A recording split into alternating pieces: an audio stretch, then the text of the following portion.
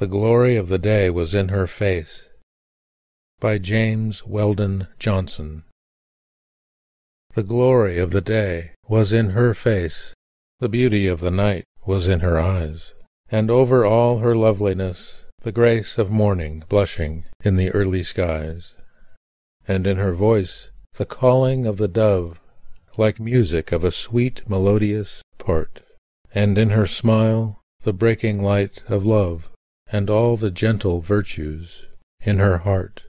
And now the glorious day, the beauteous night, the birds that signal to their mates at dawn, to my dull ears, to my tear-blinded sight, are one with all the dead, since she is gone.